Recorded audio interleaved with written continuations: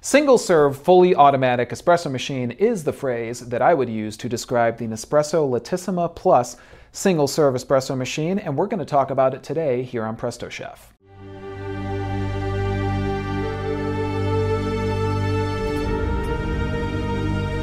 Parts on the Lattissima Plus. First of all, you have on the front of this small tray right here folds down this little accessory that's going to allow you to descale the machine. Next up, you've got your milk tank. Now this just simply attaches right here on the machine. That of course is for brewing milk-based beverages.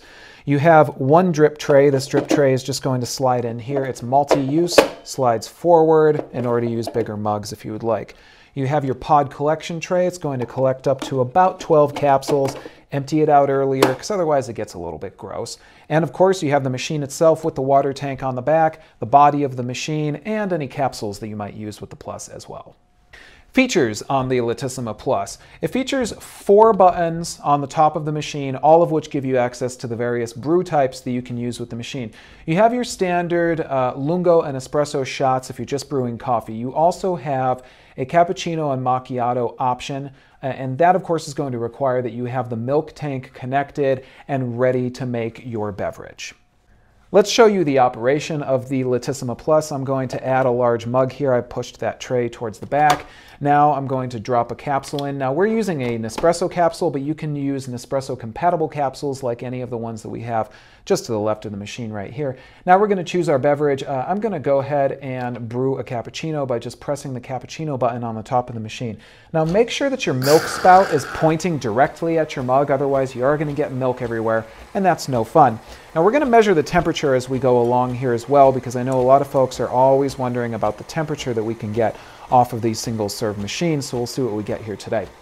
Now, again, as I say, I'm making a cappuccino, and that's going to happen by first frothing the milk. After the milk has been frothed, the coffee is going to brew, and the machine is obviously single button, one button operation, which is great. You are a little bit limited because you only have those two buttons on the top of the machine, but you can change it up a little bit. I could make a mocha if I wanted, add a little chocolate, then brew my milk, brew my coffee, give it a stir. I would have a mocha. You can make a vanilla cappuccino maybe with some vanilla syrup. So you do have different options.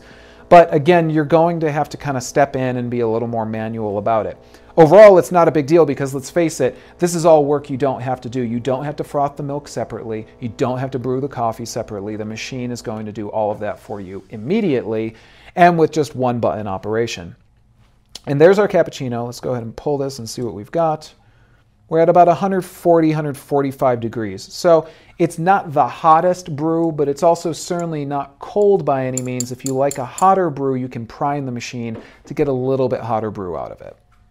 And let's give you some Presto Chef tips about the Nespresso Lattissima Plus. The first tip is prime the machine and do that by simply running some hot water through the machine and into your mug. You're going to get your mug nice and hot, get your machine a little bit hotter, and get a hotter brew out of the machine, which of course we all know that a lot of folks prefer a hotter brew. Coming at about 140 degrees Fahrenheit, it's nice to get just a little bit more out of the plus. Next Presto Chef tip is buy your capsules in advance so you never run out. You can always check out the Nespresso compatible capsules that we've talked about here on Presto Chef, some of the ones I have right here. Keep plenty of those on hand so when friends come over or something like that, you don't run out and run out of coffee. We all know that's an embarrassing situation to be in.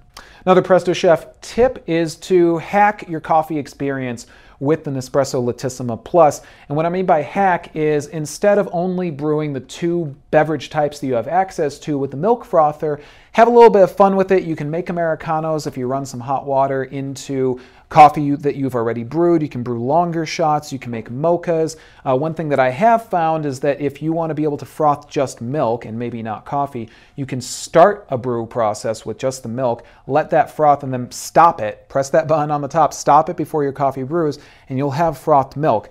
Might not be the most optimal way to use the machine, but it is a little bit of a hack in a way that you can use this machine to get even more beverages as you use it at home.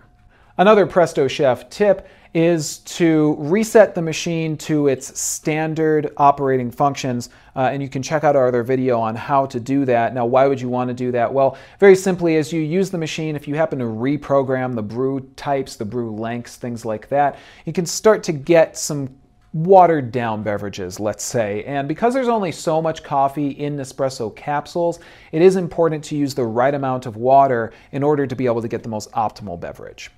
And our final Presto Chef tip use the proper capsule for the beverage that you're going to be brewing. If the capsule says Lungo on it, as you will find with some Nespresso capsules and Nespresso compatible capsules, you want to use that for, of course, brewing a beverage that would require a Lungo. The reason for that is that those capsules are going to have a little more or a little less coffee inside of them, depending on what you're going to be brewing. That way, again, you're going to get a more optimal brew and beverage experience. And there you have it, guys. That's a look at the Nespresso Lattissima Plus single serve espresso machine. Comes in at about $399, which is not too bad if you're looking for a machine.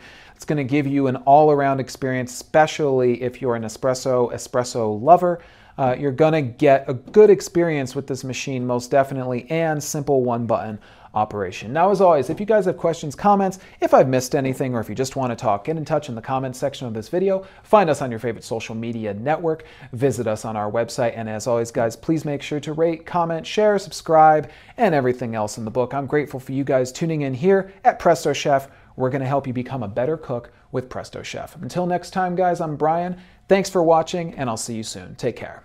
Hi everyone, I'm Brian with Presto Chef, and today on Presto Chef we're going to be talking about the Nespresso De'Longhi Lattissima Pro single serve espresso machine. The biggest standout feature on this machine is that it's going to give you one button operation to get multiple beverages, including cappuccinos, lattes, and other beverages that you can make with the press of one button. Let's dive in and talk about the machine.